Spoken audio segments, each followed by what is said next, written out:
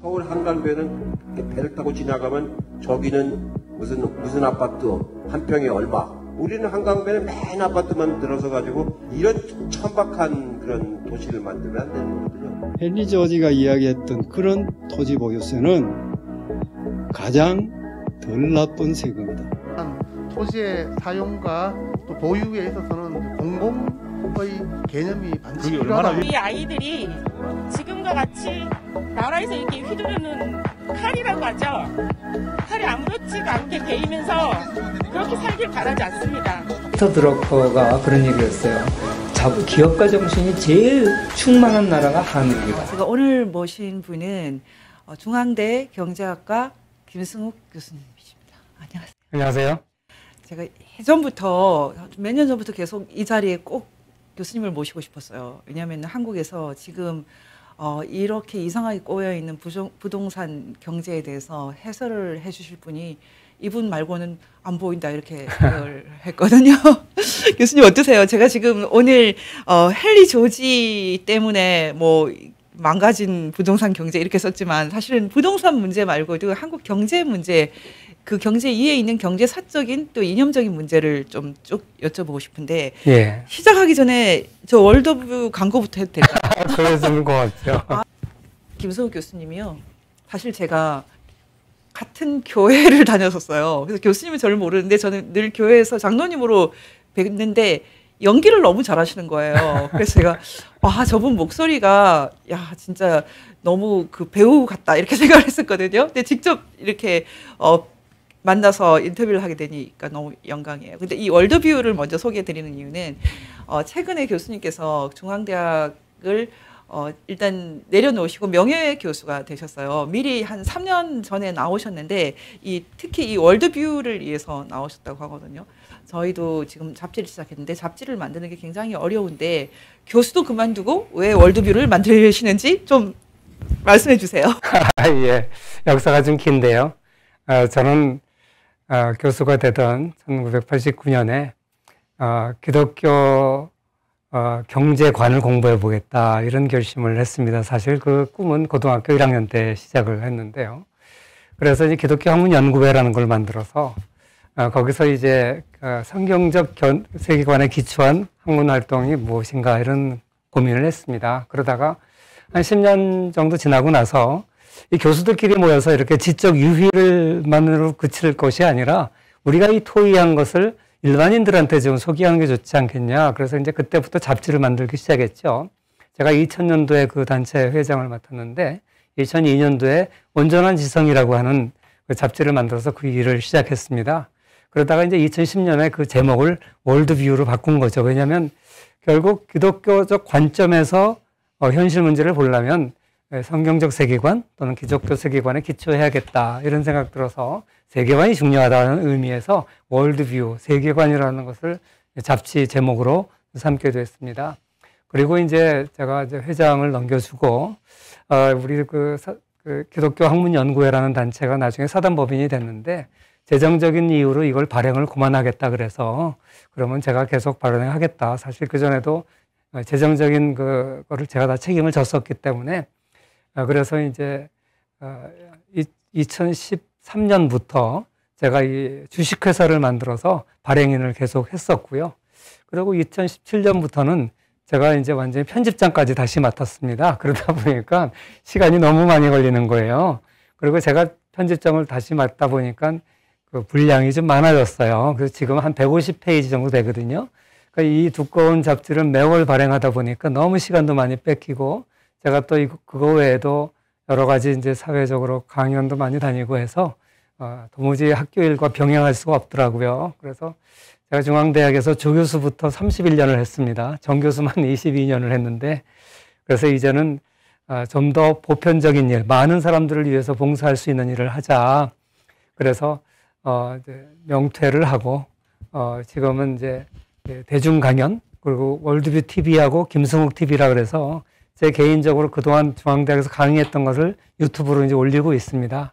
그런 작업, 그리고 이 잡지 만드는 작업, 그리고 이 잡지 내용을 가지고 유튜브로 또 만드는 작업, 이런 거를 하고 있습니다. 이것만 해도 일이 너무나 많습니다. 예. 네. 아, 저는 second career를 시작하신 것 같이 느껴져요. 그러니까 네. 교수 30년 이상 하셨고 앞으로 30년 이상은 또 이 일을 하실 것 같은데요. 하나님이 허락하시면 네, 지금 교수님 머리도 너무 브라운으로 너무 예쁘게 염색하셨다고 제가 말씀드렸는데 지금 그어 그 김성 교수님께 오늘 제가 이제 공부 가해를 기본적으로 하고 싶은 것은 전 한국 기독교 교회들이 너무 좌경화가 심해지는 원인 중에 하나가 저는 이 헨리 조지 사상 때문이라고 생각을 했어요. 왜냐하면은 이게 좌익 사상이다, 공산주의다 이런 느낌 없이 너무나 정의롭다.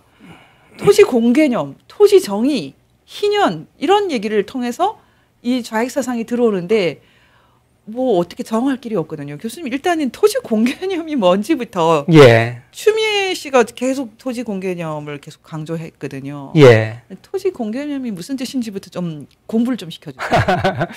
공부라고 하긴 좀 그렇고요.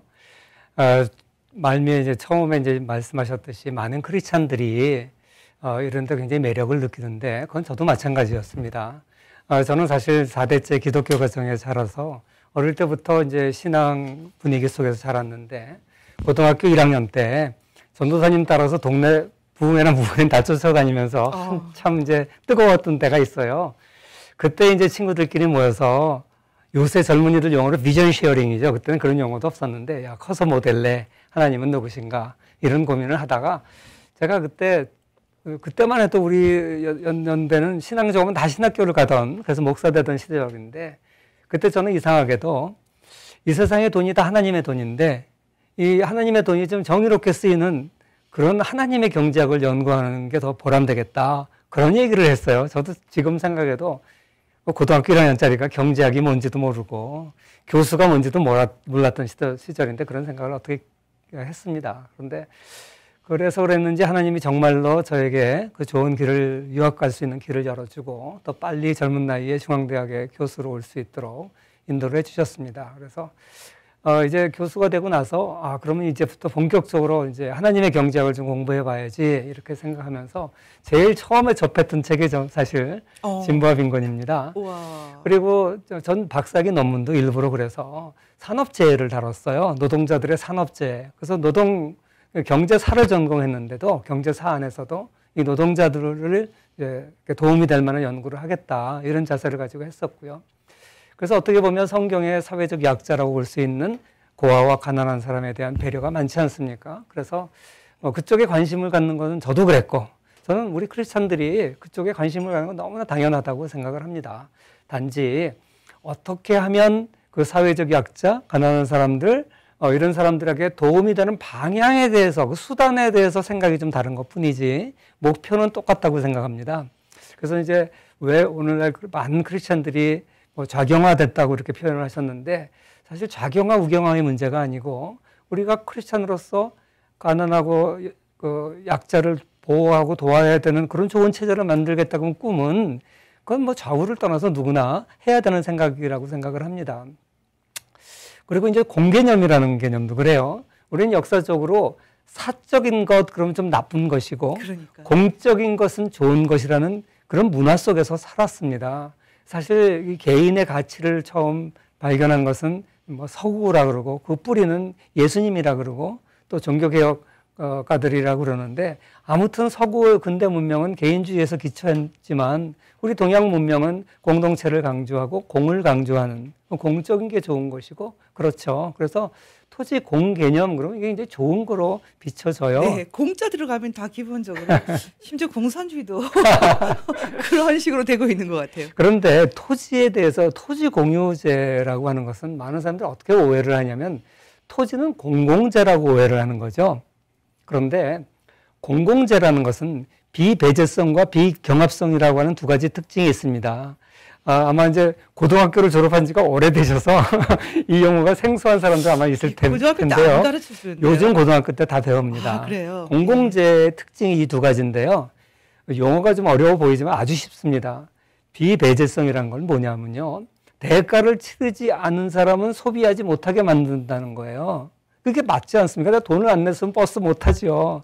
그런데 공공재는요. 대가를 치르지 않았다고 값을 치르지 않았다고 소비하는 걸 막을 수가 없어요. 예를 들어서 방송 같은 거그 TV 수신료 안 냈다고 방송 못 보게 할 수 없거든요. 이런 게 전, 전형적인 공공재의 특징이고요. 또 한 가지는 비경합성이라 그러는데 어, 예를 들어서 이만한 파이가 있으면 내가 이만큼 차지하면 누군가는 그, 그걸 차지하지 못하잖아요. 어? 그런 걸 경합성이라 그래요. 내가 가져가면 다른 사람이 못 가져가는 거. 그런데 공공재의 특징은 소, 소비자가 늘어난다고 해서 그게 줄어들지 않아요. 예를 들어 방송 아까 예를 들었는데 방송 같은 경우에 전파 발, 방송이 되면 누가 더 그 정파를 본다고 해서 다른 사람이 볼 수 있는 기회가 상실되지 않아요. 경합성이 없거든요. 이 두 가지 특징을 있는 것을 우리가 순공공재라 그래요. 물론 재화에 따라서 어떤 건 요건 있고 저건 없고 이런 경우도 있습니다. 준공공재라 그러는데 아무튼 토지는 이 두 가지가 다 없어요. 그러니까 토지는 공공재가 아닌데 공기는 공공재인가요? 그건 자유제라 그래요. 공짜제. 요새는 공기도 좋은 공기는 돈 내고 마셔야 돼요. 더 멀리 가서. 그래서 요새는 진짜 순수한 의미의 공짜제. 예, free라는 단어가 자유라고 우리가 알고 있지만 공짜라는 뜻도 있거든요. 영어에서. free, 예, 예. 그래서 free goods인데 영어로는 우리는 그걸 공짜제라고 안 그러고 자유제라고 번역을 합니다. 근데 아무튼 그런 거고요. 이 토지가 공개념을 어떻게 사람들이 오해를 하냐면 토지가 공공 그 공공성이 있다라고 오해를 하는데요. 사실 토지는 다른 토지나 부동산 다른 재화하고 큰 특징이 부동성이에요. 그래서 우리가 재화를 크게 두 개로 나누면 동산과 부동산으로 나누지 않습니까? 이게 정확한 이제 용어입니다. 부동성이란 즉 움직일 수 없다는 특징이죠. 건물을 이사 갈 수 없잖아요. 뭐 부서 부시고 다른 데 짓지 않는 이상 옮길 수 없잖아요.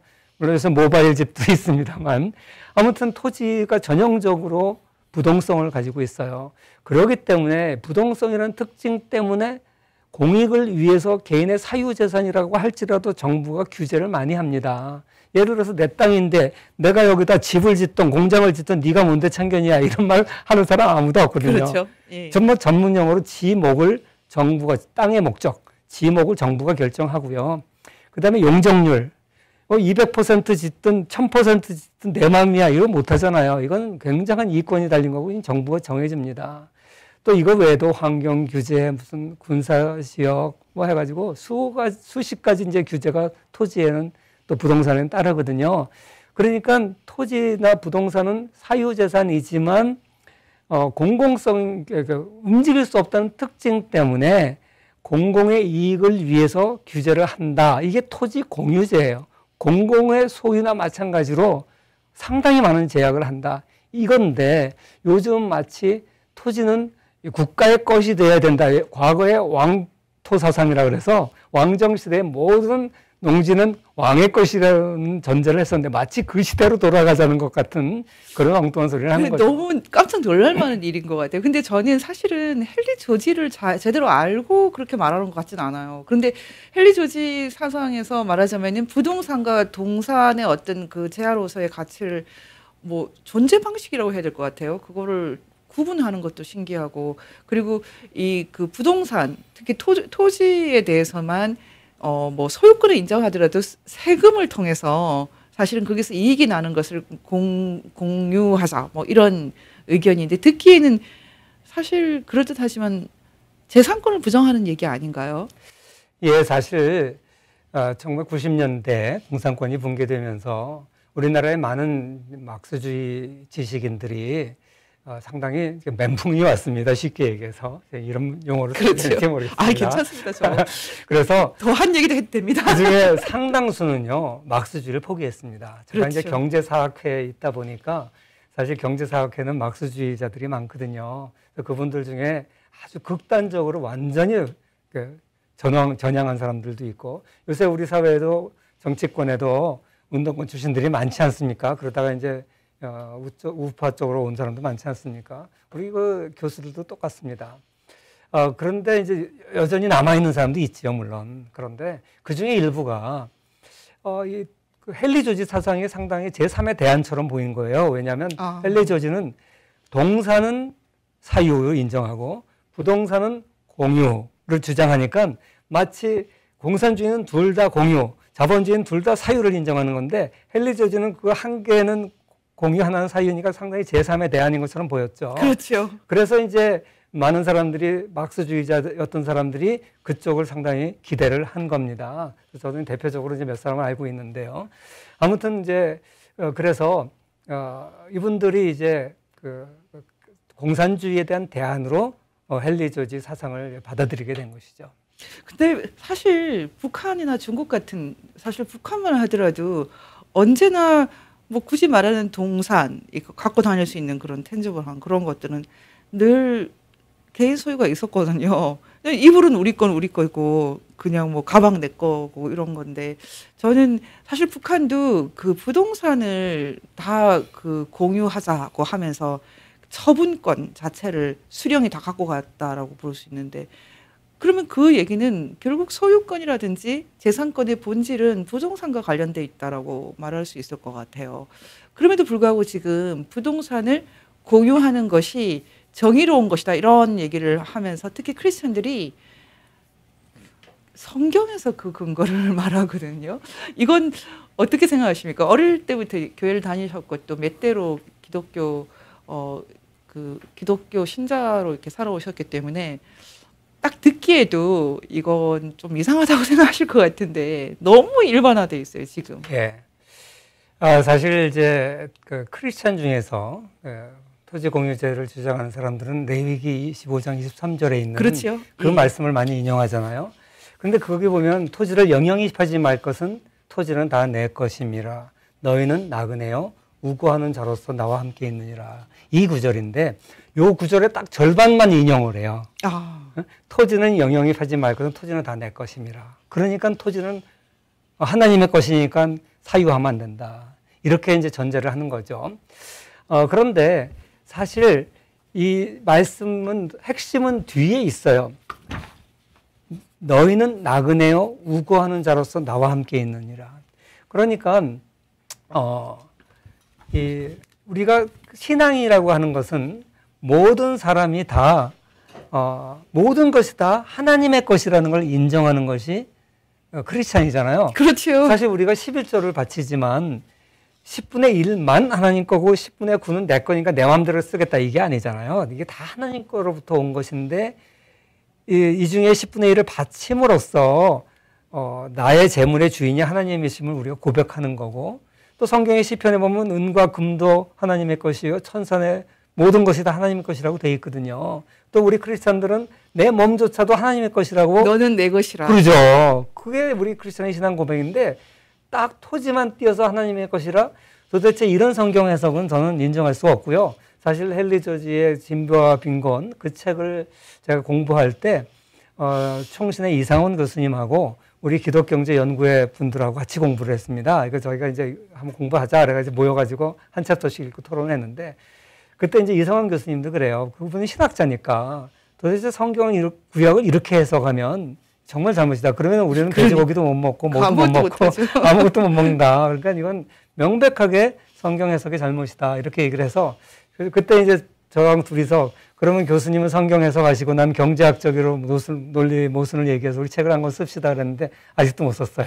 저는 그런데 어 그 교수님께서 교수를 굉장히 오래 하신 것도 신기한데 박사학위를 굉장히 빨리, 빨리 받은 것도 좀 놀라운데 또 박사 학위, 학위가 미국 철도 산업이라는 것도 좀 놀랐거든요. 저는 왜냐하면 헨리 조지한테서 제가 아 이 사람이 19세기 그 후반, 그러니까 중후반으로 가면서 미국적인 어떤 그런 상황에서 탄생한 논리다 이렇게 봤거든요. 예. 그래서 특히 이제 철도의 부설이라든지 이런 것도 연결되어 있기 때문에 그 미국의 19세기 중후반의 상황과 맞춰봤을 때 헨리 조지의 어떤 미덕이 있을 것 같아요. 그 얘기를 하라 그러면요. 제가 한 두 시간 합니다.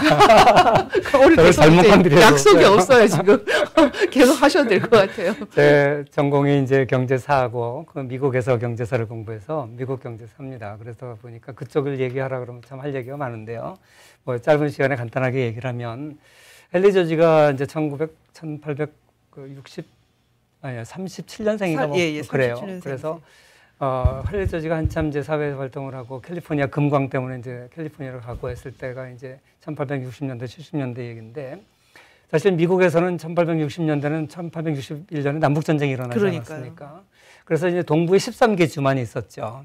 그 그리고 이제 동부의 13개 주가 남북 전쟁을 한 거고 사실 그 전부터 서부 지역을 미국 영토로 집어넣으려고 그랬는데 어, 그게 이제 잘 안 되다가 리, 링컨이 이제 남북 전쟁 하고 나서 1862년에 홈스테드 액트 이제 발의하면서 이 공유지 정책을 쓰게 됩니다. 그래가지고 이 성인 21세 이상이 되는 남자는 서- 서부의 이제 동부 13개 주를 제외하고 나머지 지역에 가서 주인 없는 땅에 울타리를 치고 건물을 짓고 5년간 경작을 하면 소유권을 인정해줘요.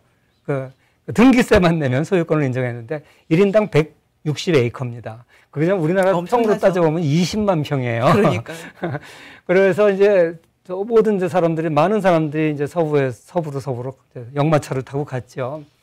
그래서 이제 헨리 조지가 한참 이제 사회 캘리포니아에서 활동하던 시기에 이게 다 끝났어요. 이제 빈 땅이 없어진 거예요. 그래서 먼저 온 사람들은 땅을 차지해서 부자가 되고 생각해 보십시오. 1인당 20만 평을 얻었는데 그 중에 일부는 상당히 이제 막 금광도 발견되고 막 그러니까 돈을 번 거고 어 그러니까 아이 빈곤의 원인은 토지 때문에 생긴다 이렇게 이제 헨리 조지가 생각하게 된 거죠. 그래서 이거는 이분이 그 시대 산물이고요. 또 이제 19세기 말에 어떤 일이 벌어지냐면 유럽에서 19세기 말에 이 대불황이 생깁니다. 우린 the Great Depression 그러면 1929년에 미국에서 일어난 대공황을 생각하는데 예, 예. 유럽 사람은 the Great Depression 그러면 1873년부터 어, 유럽에서 시작된 장기 대불황 23년이나 지속됐으니까 아하. 이걸 생각하거든요.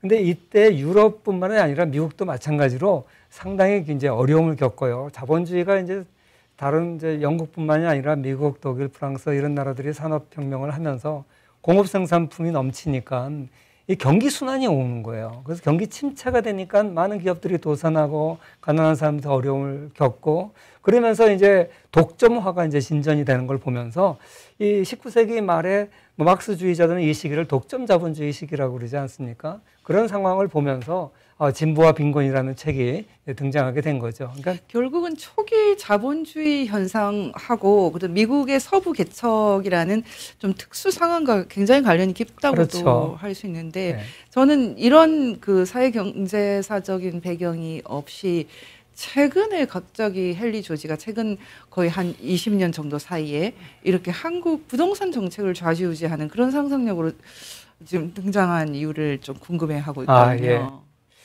제가 그 옥스퍼드 컨퍼런스라고 있습니다. 그 영국 옥스퍼드에서 처음 모임을 모여서 옥스퍼드 컨퍼런스라고 이름을 붙였는데 이 캐톨릭에서는 경제 문제에 대해서 교황이 이제 발표를 이제 하고 예, 이런 게 있지만 우리 개신교는 그런 게 없었는데 예. 제1회 옥스퍼드 컨퍼런스에서 세계의 경제학자, 윤리학자, 신학자들이 먼저 모여서 이 경제 문제에서 정의로운 성경적 견해가 뭘까 이걸 논의를 했어요. 그래서 거기서 선언을 했는데 그게 옥스퍼드 선언입니다. 그 3차 옥스퍼드 선언이 인도 아그라에서 열렸는데요. 제가 그때 이제 한국 대표로 갔어요. 가보니까 일본 대표도 없고 중국 대표도 없고 아, 졸제 제가 동아시아 대표가 됐는데 그때 이제 보니까 미국의 대표 뭐 해방 신학자들도 오고 미국 그 대표들도 오고 주로 미국 대표들은 이제 켈빈 대학에서 많이 왔어요 경제학자들이 거기 경제학과가 있으니까 예, 예. 그래서 이제 켈빈 대학 교수들하고 이제 같이 아침 식사를 하면서 제가 물어봤어요. 보니까 조지스트들은 아무도 없더라고요. 그래서 왜 조지스트들은 여기 안 왔냐? 그러니까 그 켈빈 대학 교수가 팀 스트라 교수나 뭐 이런 사람들이었는데 그 사람이 그래요. 아, 조지스트는 우리가 볼 때는 정, 정상적인 경제학자라고 보기 어렵다. 그래서 여기는 없다. 그래서 저도 아, 미국에서도 별로 그렇게 인정받지는 못하고 있구나. 그래서 제가 그런 얘기를 했어요. 근데 한국에는 조지스트들이 많이 생기고 있다. 왜 그러냐? 싱가포르나 한국이나 이렇게 도시 밀집도가 높은 지역에서는 도시용 주택 땅값이 올라가고 있기 때문에 다시 19세기 말에 헨리 조지의 생각이 상당히 많은 크리스찬들에게 어필하고 있다. 이렇게 얘기했더니 미국 그 경제학자들이 기독 경제학자들이 깜짝 놀라더라고. 어, 그러냐? 그러면서 그럴 수도 있겠네.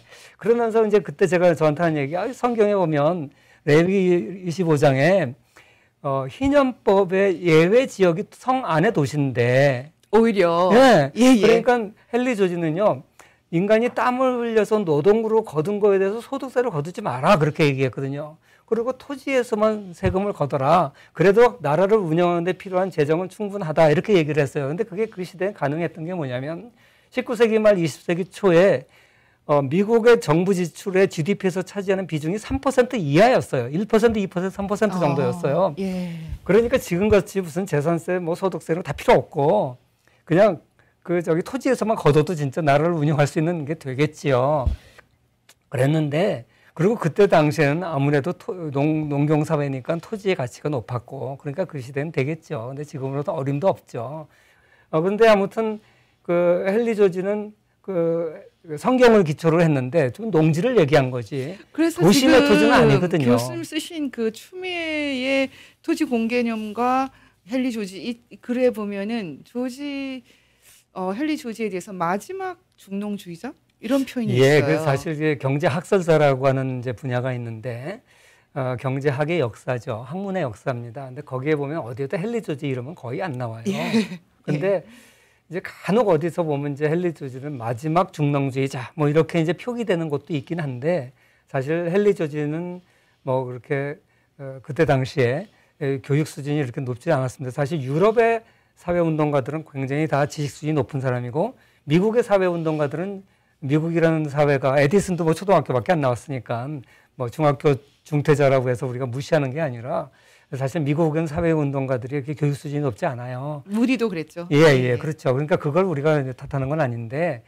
어, 사실 이게 학, 학계에서는 인정받은 학자라고 보기는 어렵고, 오히려 샌프란시스코의 선지자라는 별명이 붙었었습니다. 그 성경 다음으로 많이 팔린 책이라는 뭐, 그런 이제 예, 예. 것들을 성토모나 이 성경적 토지 정의를 위한 모임, 또 엘리조지 협회나 이런 데서 계속 주장을 해요. 그런데 제가 볼 때는 뭐 어느 시절에 베스트셀러라는 게 그렇잖아요. 그렇죠.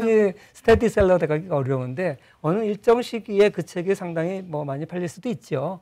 그런데 그게 지금까지 뭐 누적적으로 그렇다라고 주장하는 건 좀 어폐가 있는 것 같습니다. 너무 많이 팔 려서 오히려 좀 부리시네요. 왜냐하면 좋은 논문이 이렇게 많이 팔릴 수 없지 않습니까? 교수님 책 많이 팔렸어요. 그래서 책은 많이 안 팔렸습니다. 근데 제가 지금 어, 말씀을 듣다 보니까 저희가 이제 이걸 좀 풀어야 될 어떤 부분이 왜냐하면 결국은 1980년대 말에 그, 그 러시아 소련의 페레스트로이카 이후에 많은 그 막스주의자 공산주의자들이 좌절을 겪으면서 옷을 이렇게 좀 갈아입었어요. 제 3의 길뭐 그렇죠. 이런 것도 있고 네. 그 중에 하나 갈아입은 것 중에 하나가 이 조지 헨리 조지라면 사실 공산주의의 다른 얼굴이라고 할 수도 있을 것 같아요. 예. 그래서 제가 여기서 좀 놀라운 것은 가령 예수원 같은 경우에 이 그 헨리 조지 사상을 그 예수원 공동체를 운영하는데도 활용을 하지만 또 하나는 그 북한 개발 상상력으로도 강조하고 있거든요. 예.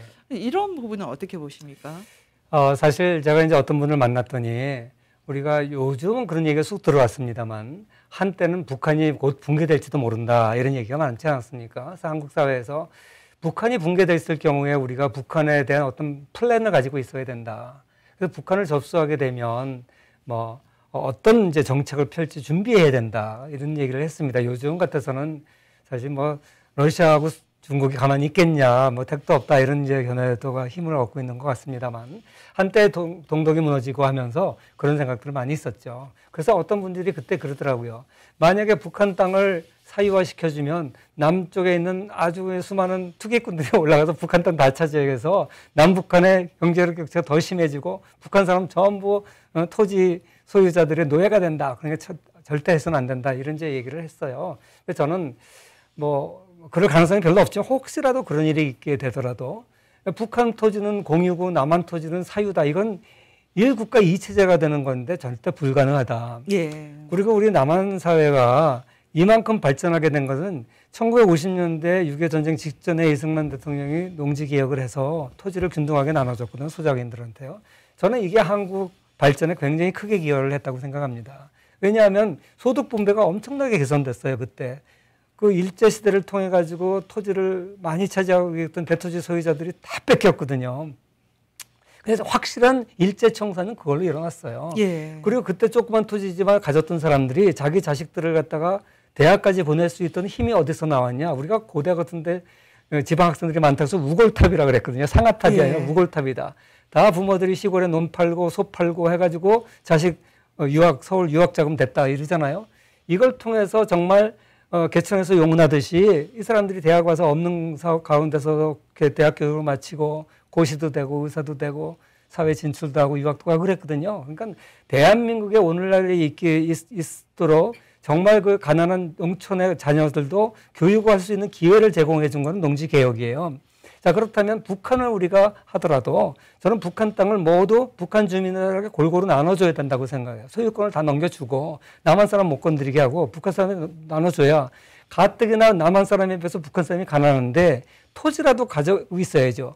그 중에서 어떤 사람 팔 거고 어떤 사람 가지고 있을 거고 앙트로프로너십에 있는 사람은 그걸 개발해서 또 거기서 성장할 거고 사람마다 그건 각자 그건 맡겨야죠. 저는 그렇게 된다고 생각하고요.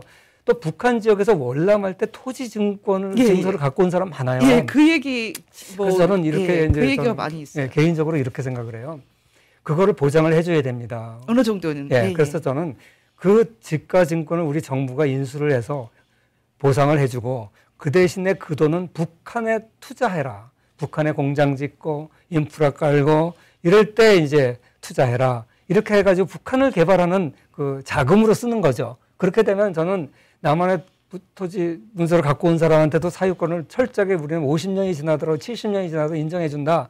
확실한 사적 소유제를 확립을 하고 또 북한은 북한대로 자본이 투입될 수 있는 길을 열어주고 북한 주민들은 이 토지를 분배받음으로써 어떻게 보면 자산가가 되고 이렇게 하는 것이 그러면 이제 1국가 2체제가 아니라 똑같은 체제가 유지가 되고 이것이 바람직하다 이 얘기를 저는 옛날부터 아, 주장을 지금 했었습니다. 이 말씀은 너무 감동적이에요. 근데 사실 지금 소위 이제 그 우파 진영의 이 지성 역량이 너무 약하고 지금 이런 논의를 이렇게 공론의 장에서 적극적으로 펼치는 분들이 없기 때문에 저희가 아무 대안이 없다고 생각하는데 지금 이제 교수님 말씀은 기본적으로 저희가 소유권, 재산권이라든지 그다음에 기업가 정신, 엔트르프니어십이라든지 이런 것들을 우리가 아주 소중하게 생각하고 실제로 빈곤 문제를 해결하지 않았습니까? 북한은 실패했고요. 예. 그런 것들을 모두 가치 있게 계속 쓰고 또 전개를 해 나갈 아이디어를 지금 말씀하시는데 지금 한국에서는 무조건 다 같이 남의 거 뺏어서 주는 거 이런 것들을 정의로 지금 권장을 하기 때문에 문제가 많이 발생하는데 마침 보니까 김성욱 교수님의 이런 정도의 의견도 지금 보십시오 뉴스 엔조이에서 헨리 조지, 조지 비판한 것 정도도 현대판 바알주의 말도 참 잘 지어내요 이게 무슨 뜻입니까 지금 글쎄요, 저는 뭐 그런 게 났는지도 몰랐습니다. 그런데 제 비판이 굉장히 가, 아팠던 모양이네요. 근데 우리 크리스찬들이 천국에 가면 다 만날 텐데 사실 성경에서 바알이라 그러면 사탄이나 똑같은 거 아닙니까? 서로 이렇게 크리스찬들끼리 비판하는 것은 점잖지 못하다고 생각하고 그리고 사랑을 강조하는 기독교인들끼리 그래서는 안 된다고 예, 생각하고요. 비판하는 건 좋은데 근데 이게 배경에 들어 있는 것이 결국은 이 희년 희년은 소위 주불이라는 거잖아요. 예. 이 소위 기독교 사회주의를 주장하는 진영의 중요한 이론적 토대라고 어 이렇게 지금 알려져 있어요. 예. 그런데 아, 저는 기본적으로 기독교 사회주의가 무슨 뜻인지를 잘 모르겠어요. 너무 요즘에 유행을 하는데 이것도 좀 해설을 좀 해주시겠어요? 아, 뭐 저보다 그 분야는 더 김명 대표님이 더 전문가신데, 아, 뭐 저는 이제 이렇게 생각합니다. 사회주의라는 것은 막스가 얘기했던 것 같이 혁명을 통해서 이룩하는 방법이 있고, 요새 neo Marxist들이 주장하는 것처럼 정상적인 정권을 잡아서 commanding heights라고 레닌이 얘기했던 그 기간 산업들 이런 거를 갖다 가 합법적으로 다 국유화 공유화 시키고, 그 다음에 이제 중요한 사회 뭐 교육이라든지 각 사회 분야 분야를 요새를 치면 이제 복지 분야 확대해가지고 이렇게 해서 사회 안에서 정부가 좌지우지할 수 있는 영역을 넓혀가면 그게 사회주의 아니겠습니까? 그렇죠. 예, 근데 생각을 해보십시오. 이 우리가 GDP라는 것은 그의 생산한 부가가치입니다. 그 GDP가 그 하에 생산된 거를 국민들이 소비를 하죠.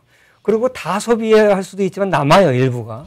그게 사회에 축적됩니다. 마치 저수지가 있는데 상류에서 물이 들어와요. 이거는 그해 생산되는 어, GDP 양입니다. 그리고 그 하류로 빠져나가요. 그게 그 소비되는 겁니다. 또 호수 지- 저기 저수지에서 그 공기 중으로 이렇게 증발하는 것도 있겠죠. 그 양이 상당하다 그래요. 감가상각이라고 볼 수 있겠죠. 그러면 생산되고 소비되고 감가상각되고 남는 게 그 사회의 자산으로 축적되는 겁니다. 그런데 그 자산으로 축적되는 게 뭐로 축적되겠습니까? 뭐로 축적되겠습니까? 그게 다 땅, 부동산, 그렇죠. 공장, 공장이나 이런 건 다 주식의 형태로 나타나고요. 일종의 결국 stock이죠. Stock. 예, stock이 stock이라는 것은 그게 이제 flow와 stock이라고 경제학에서 얘기하는데 흘러 나가고 들어오는 거는 이제 flow 개념이고 저장된 게 stock인데 그 사회에 축적된 stock은요 결국은 개인의 주거용 집이나 그렇죠. 그 공장 또는 영업용 빌딩이나 어?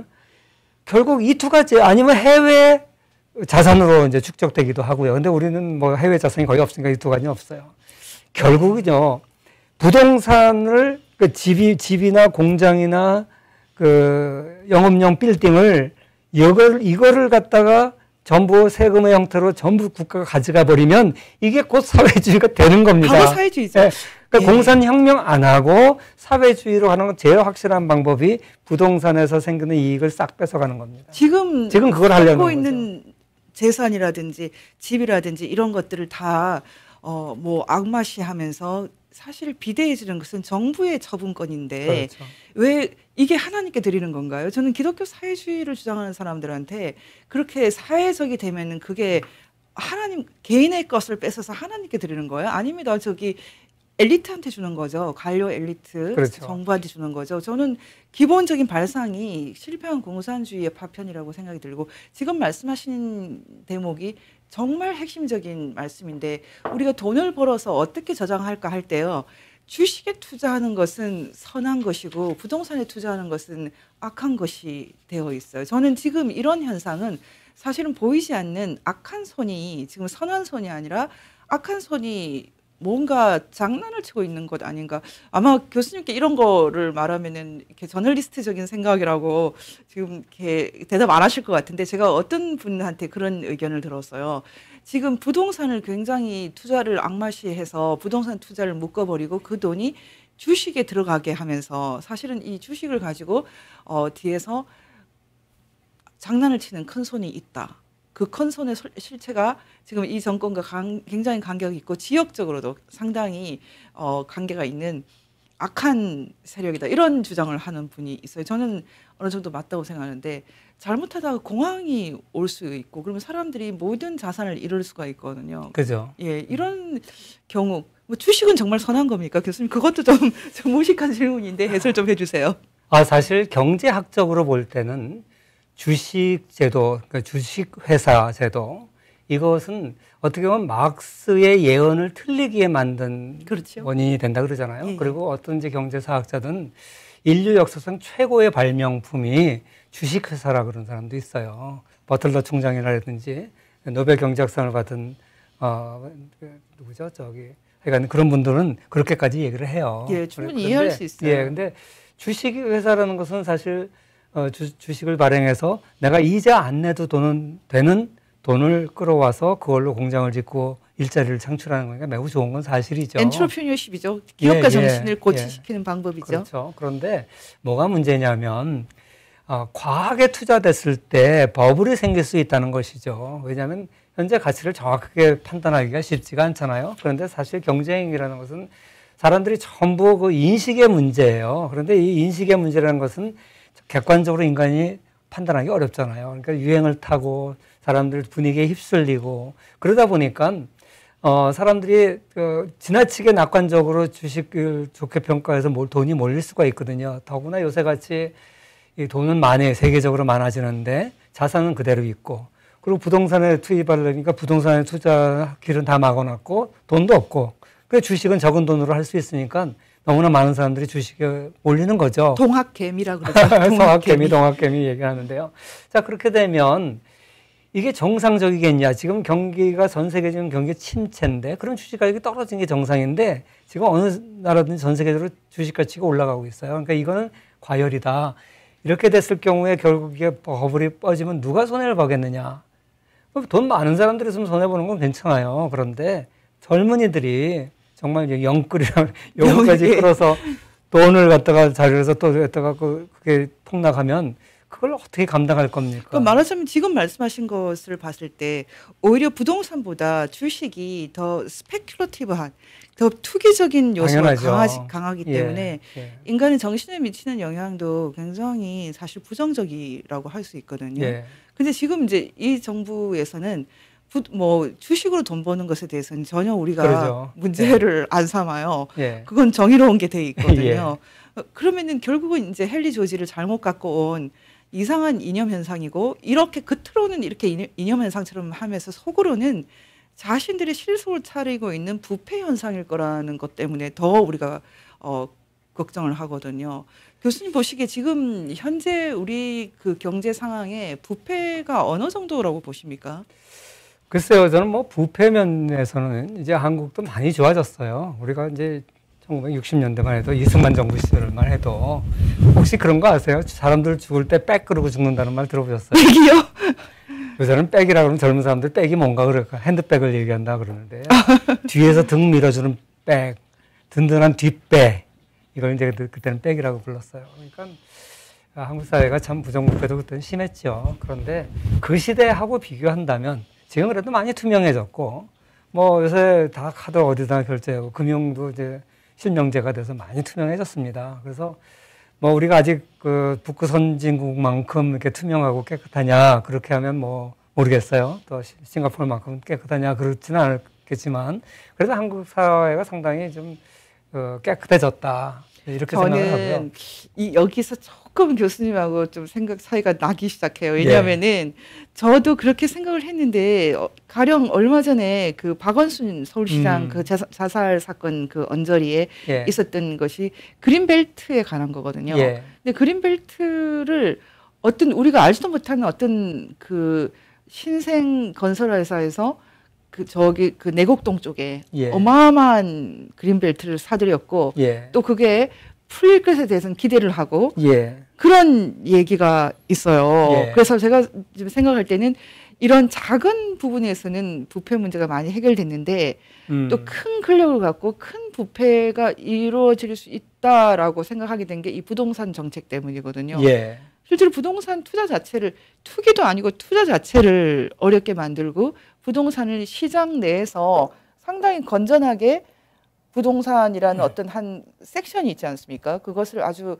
시장 경제의 중요한 요소로 이렇게 갖고 갈 아, 생각을 그런 하지 않아요. 면에서 예, 예. 그래서 제가 생각할 때는 어쩌면 우리 생활 속의 부패보다 거대 부패 음. 징후가 있지 않나. 이게 제 생각인데 어떻습니까? 네, 거기에 대해서 좀 말씀드리겠습니다.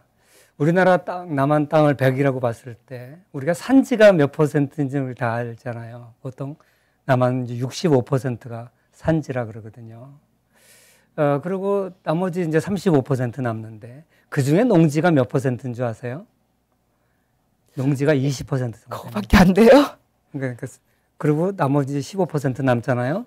그 15% 정도 중에서 우리가 도시 용지라 그래요.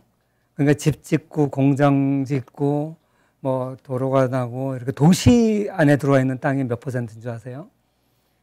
그게 5.5%예요. 아, 그거밖에 안 돼요? 그러니까 나머지 10%가 어, 무슨 뭐 강하천 뭐 이런 이런 거고 그러니까 우리가 가뜩이나 한국은 한반도는 산이 많고 평야가 작잖아요. 그런데 65%가 산지인데 20% 이상을 쌀 작업을 하기 위해서 농지로 묶어놨어요. 그리고 도시로서 우리가 개발해서 쓰는 건 5, 6%예요. 그럼 생각해 보십시오. 가뜩이나 없는 땅을 이렇게 좁게 쓰는 거예요. 거기다가 인구의 절반이 수도권에 몰려 있어요. 그 수도권은 얼마나 좁게 쓰는 겁니까? 사실 이걸 조금만 풀어주면은요. 예를 들어서 농지의 20%의 농지의 10%는 2%만 농, 도시용지로 전환시켜주면요. 어. 5%가 7% 되니까 땅값 뚝 떨어져요. 예. 근데 이걸 안 하잖아요. 어. 왜안 하겠어요? 저도 너무 궁금한데요. 저는 이게 정권하고 관련됐다고 생각해요. 왜냐하면 이거를 풀어주기 시작하면 너도 나도 다 풀어달라니까 못 풀어준다 이렇게 얘기하지만 우리가 정권마다 대규모 토지를 풀어주잖아요. 그럴 때 어마어마한 어? 그 아. 수익이 발생하거든요. 예. 거기에 아까 얘기한 그런 형태의 부패가 있을 거다. 저는 이건 투기가 아니라 불법이에요. 만약에 내가 주식회사 이사다. 그러면 이사회를 하면서 우리가 어디 계약이 체결됐다. 이거 내일 발표 나간다. 그러면 주식 오른 거 불도지 뻔해요. 그럼 내가 오늘 주식 사놓으면 난 떼돈 벌어요. 그걸 그렇게 하면 감옥 가요. 그렇죠. 똑같아요. 정부 공무원들이나 이런 사람들은 어디가 개발될지 알아요. 정치권 높은 사람들은 다 알아요. 그거 표, 그 그림에 지도에다가 선 긋고 설계했던 사람 다 알아요. 예? 그러니까 그 위에 있는 권력자들이 모르겠어요. 다 알죠. 그러면 그 과정에서 얼마나 큰 이익이 생겨 그런 형태의 부패를 아마 얘기하시는 것 같아요. 예. 그건 저는 좌나 우나 똑같다고 생각합니다. 어느 정부든지 그런 걸 하기 때문에 함부로 어, 이런 거 안 하고 있는 거예요. 이건 어떻게 보면 정권의 전유물이에요. 내가 정권을 찾으면 이걸 두다가 다음 선거 자금을 만든다 뭐 이런 소문도 있잖아요.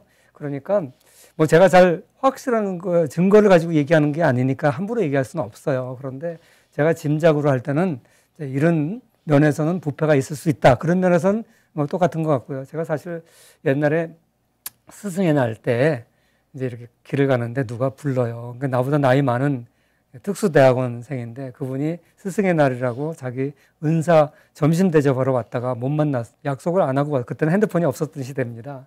와가지고 못, 못 만났어요. 그러니까 집에 갈래다가 나를 길거리에서 보고 꽁 대신 닭이라고 저라도 대접을 한다 그러가지고 밥 먹으러 가자 그러더라고요. 식사 대접을 받았는데 식사하면서 그래요. 중소기업체 사장인데 교수님 어디다 땅 투자하면 됩니까? 그러더라고요. 그래서 내가 어 내가 그걸 어떻게 알아요? 그런데 어, 난 그때 그렇게 얘기를 했어요. 나는 돈이 없어서 못하지만 뭐 내가 경제학자로서 내가 어, 드는 생각은 우리 대한민국 사람들이 이제 소득 수준이 높아져서 김포평에 밥을 쌀은 안 먹습니다. 다 이천 쌀 먹지. 왜 김포평에 있는 쌀들은 이게 한강 하수에 다 오염된 물이고 이걸로 농사진 쌀 누가 먹겠습니까? 그러니까 나는 김포평이야. 한강 하류에 있는 평야는 언젠가 저거 다 주택 단지 됩니다. 그 시간이 얼마 걸릴지 모르지만 내가 당신이라면 내가 돈이 있더라면 뭐 나는 어, 김포 지역에 있는 따- 농, 농투를 사겠습니다. 뭐 이거는 그냥 아이디어 차원에서 얘기 드리는 겁니다. 근데 그 사람이 다시는 연락 안 왔어요. 그러니까 아마 내 말을 안 들었던 것 같아요. 그게 다 지금 검단 지역이고 다 그러거든요. 제가 아는 사람이 검단 지역에 땅이 7천 평인가 있었는데 그 뭐 이자를 못 내고 뭐 해가지고 4억인가 5억이 없어가지고 그걸 갖다가 경매에 넘겼어요. 그게 나중에 보니까 3천억이 돼 있더랍니다. 사람, 세, 세상 일이라는 게 이런 거예요. 잘 몰라요. 미래를 어떻게 압니까? 그러니까 부동산 투자하면 땅 짓고 헤엄치기라고 사람들이 생각하는데 그렇지 않거든요. 그 저같이 경제학자로서 이 정도의 그 예상 이런 건 할 수 있어요. 그런데 딱 꼭 집어서 요 땅이다. 이거는요. 이거는 정권과 결탁되지 않으면 절대 못 찍어내거든요. 그러니까 이거는 투기가 아니라 불법이에요. 감옥서 불법. 보- 예, 예. 보내야 될 일이지. 우리는 아무거나 다 투기해요. 정상적인 부동산 거래도 투기라 그러고 이런 불법도 투기라 그러고 또 사기도 투기라 그래요. 예를 들어서 기획부동산이 들어가가지고 아, 멀쩡한 땅 올려놓고 지네들 비싸게 팔고 딱 나오고 나중에 상투 잡은 사람들 폭망하고 뭐 이런 건 이건 투기도 아니고요 사기예요 사기 이건 감옥서에 보내야 돼요.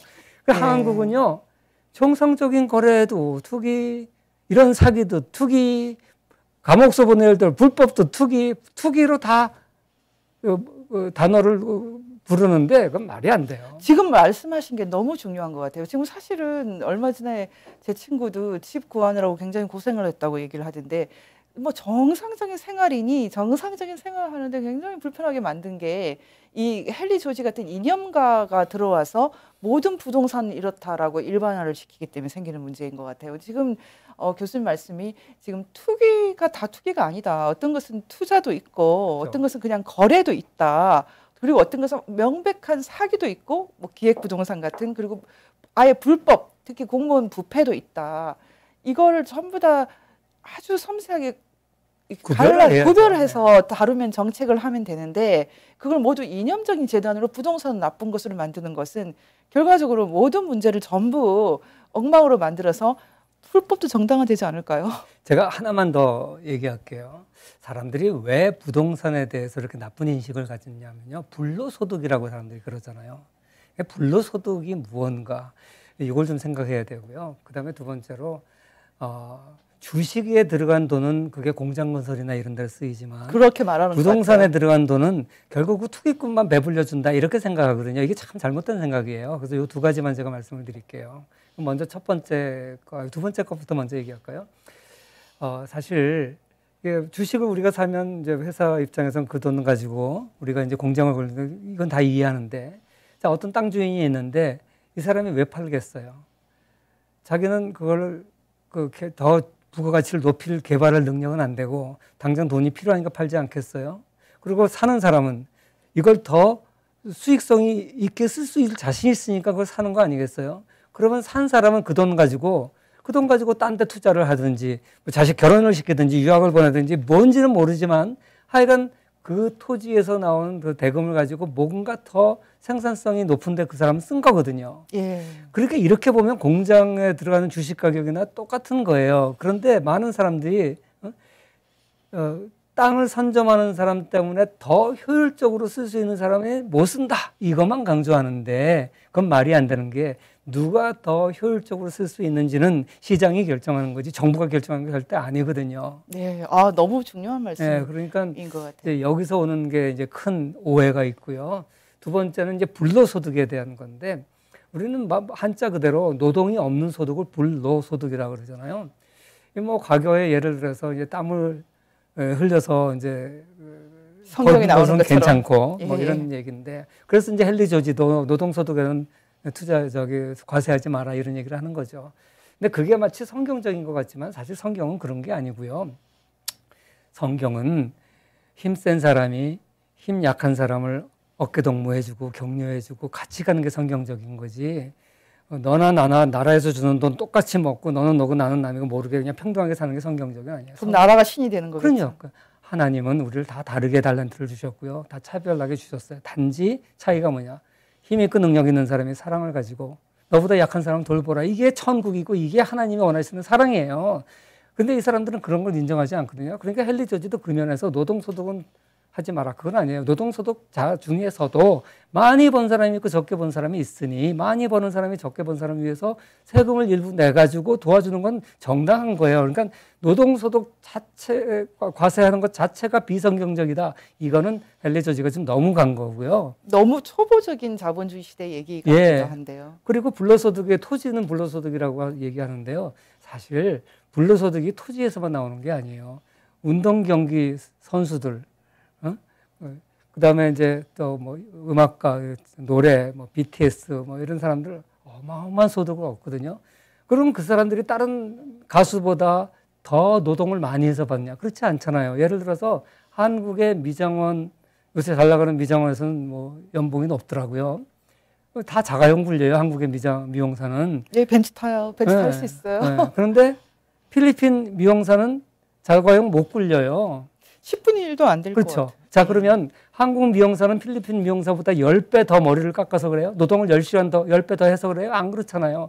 한국 사회 소득 수준이 높아졌기 때문에 어떤 사람이 미용업에 정사하게 하려면 그 사람에게 그 정도 월급을 줘야 그 사람이 미용업에 들어오니까 그 사람의 소득이 높아진 거예요. 결국 사회가 발전했기 때문에 그 사람의 월급이 높아진 거거든요. 그러니까 사회가 발전해서 땅값이 올라갔으니까 너 그건 불로소득이야. 이거를 적용하려면 모든 업종에 다 그래요. 그렇죠. 근데 거기다가 주식도 처음에 이렇게 이렇게 주식을 좀 뭐 해서 회사를 운영하고 또 사람들이 더 돈을 내고 이런 건전한 의미의 주식이 아니라 지금은 거의 헤지 펀드나 투기 자본 어, 파생 금융 이런 문제는 실제로는 그런 산업을 진작시키는 이런 것과도 거리가 있지 않을까요? 뭐 거기로 이제 들어가면 이제 얘기가 복잡해졌는데 요새 공매도를 불법화하니 하는 이제 이렇게 얘기했는데 왜 그런 거 있잖아요. 왜뭐 수족관에 상어하고 물고기를 같이 넣어뒀더니 물고기 오래 살더라. 그러니까 그 사회에서요. 또 그 투기꾼은 투기꾼대로 역할이라는 게 있어요. 무슨 역할이냐면요. 비슷비슷하게 만들어줘요.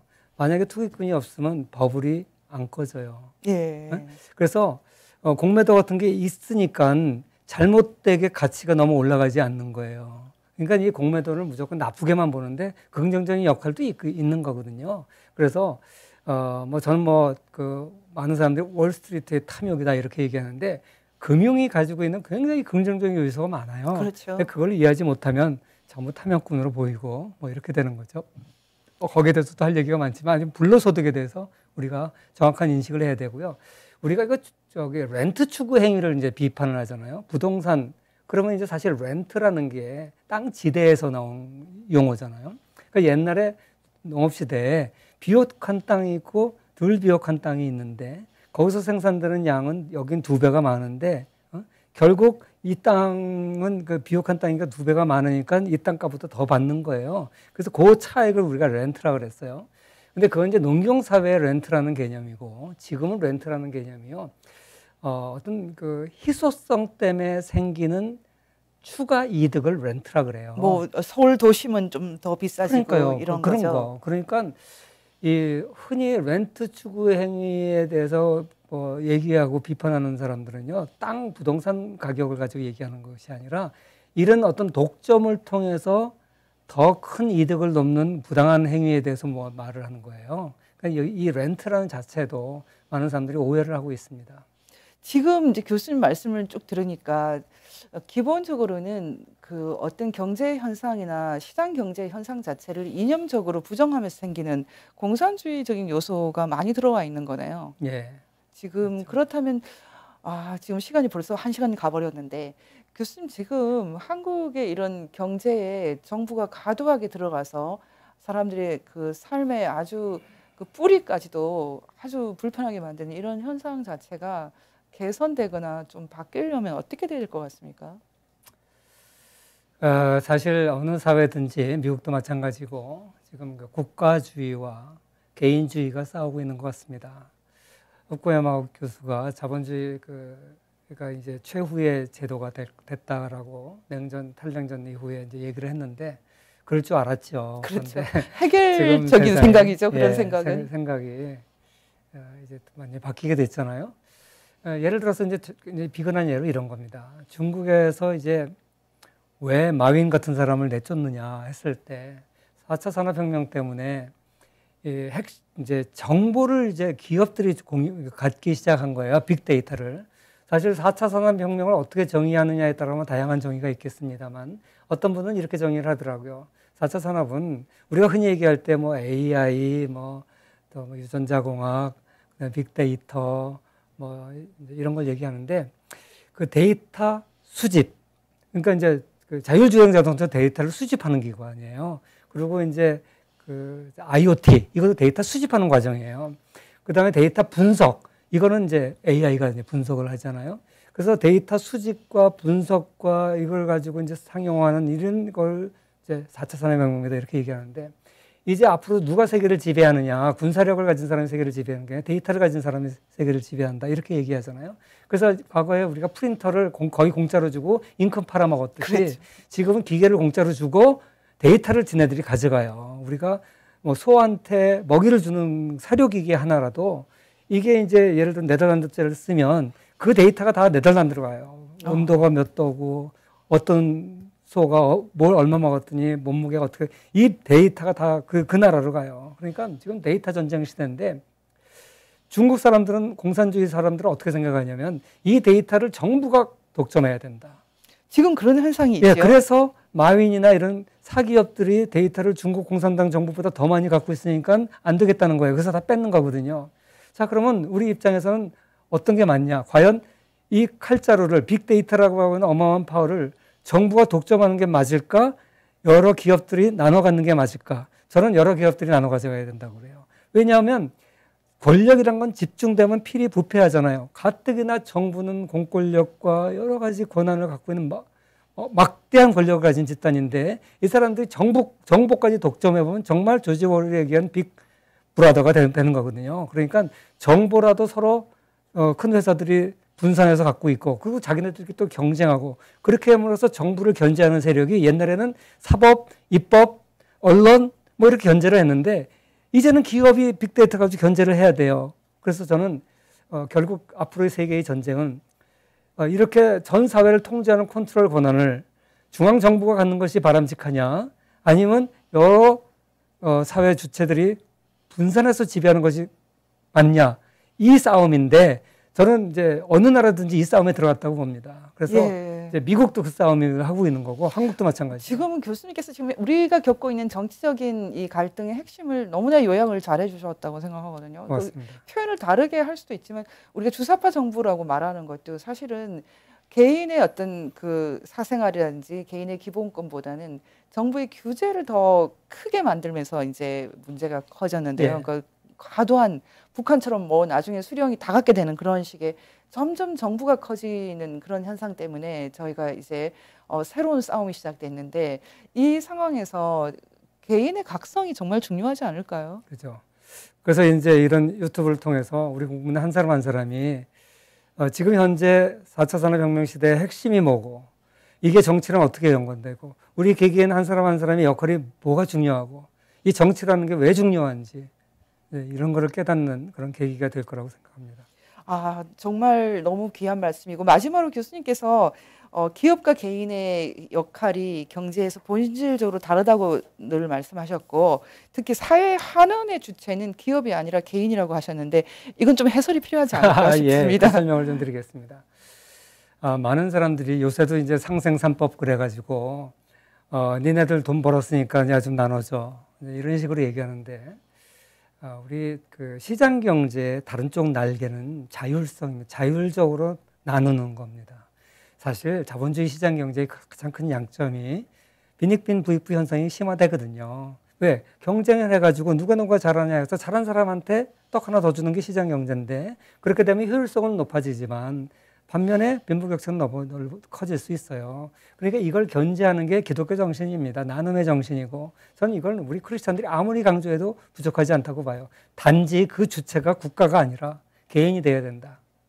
국가가 강제적으로 세금으로 뺏어서 주는 것도 아니고 기업들한테 주리를 틀어가지고 토해내게 만드는 것도 아니다. 그러니까 우리가 수재 의연금을 내든지 이런 걸 할 때 거기 그, 그, 그 기업의 사람들이 십시일반으로 자기 주머니 돈 트는 거예요. 사장은 좀 더 많이 내고 자기 개인 재산을 회사 돈이 아니라 회사 돈을 내면 그건 원가에 반영이 돼서 소비자한테 전가가 돼요. 그런 가격 경쟁력이 떨어지고 우리나라 같이 국제 시장에 나가서 경쟁해야 되는 한국 기업들은요 경쟁력 떨어지고 그 바람직하지 않아요. 그러니까 어, 우리가 이 자본주의 시장 경제에서 한쪽 날개로 날아가는 게 아닙니다. 시장 경제의 효율성이라고 하는 날개로만 날아가면 이게 잘못됩니다. 우리가 그 사회적 책임을 다하는 개별 어, 주체들이 인식을 해가지고 나보다 어- 어려운 사람을 자발적으로 돕고 이게 만화에서도 이두 날개로 사회가 올라가는 거거든요. 그런데 이 오른쪽 날개의 이 나눔의 기능을 자꾸만 정부가 뺏어가려고 그러는데 이렇게 되면요. 전체 효율성이 너무나 떨어져요. 그러니까 그렇게 된다는 거. 그리고 기업도 역시 정부가 강제로 하면 안 되고 어, 기업 주체 그 구성원들이 해야 된다. 이런 의미에서 말씀드린 겁니다. 가장 효율적인 것이 가장 사회적인 것이다. 예, 맞습니다. 지금 사실 우리가 효율성을 어, 추구했기 때문에 한국은 계속 빈곤 문제를 많이 해결했고요. 예. 지금 교수님 말씀이 어떻게 보면은 그 크리스천 기업가 정신의 핵심을 잘 설명하신 것 같아요. 사실 교회 역사도 2000년 이상 계속해서 그 교황 제도라든지 교회 제도가 개인과 하나님과의 직접적인 관계를 방해하는 것을 계속 이제 문- 문을 열어가면서 막아준 거 아닙니까? 그래서 예. 더 개인에게 더 가까이 신앙이 오고 개인이 직접 성경을 읽고 이런 것들이 개혁의 혁명이었는데 예. 지금에 와서 특히 경제 영역에서 개인의 자율성을 계속해서 막고 뭐 세금 제도도 그렇고 상속 제도도 마찬가지고 계속 이런 식으로 개인의 역할을 줄이고 정부가 거대화되고 아까 말씀하셨던 것처럼 사차 사- 말은 4차 산업인데 뭐 어마어마한 빅브라더 정부를 탄생시키는 그런 흐름으로 가고 있다라는 짧은 시간이지만 경제사의 맥을 잘 뚫어서 설명을 해주신 너무 귀중한 강- 강의였습니다. 거의 강의였습니다. 너무너무 감사드리고요. 종종 좀 자주 찾아뵈도 알겠습니다. 되겠습니까? 예. 예, 너무 귀한 시간. 여러분 결국은 저희가 발견한 것은 말은 헨리 조지지만 말은 헨리 조지지만 사실은 공산주의 문제인 것 같습니다. 거대 기업 거대 기업이 아니라 거대 기업화된 정부와 개인의 자율성이 효율성이 싸우는 그런 시대라고 생각이 듭니다. 이 시대에 우리 정신 똑바로 차리고 나라를 이겼으면 좋겠습니다. 어떻습니까, 교수님? 예. 예, 감사드립니다. 오늘 여기에서 마치겠습니다. 감사합니다.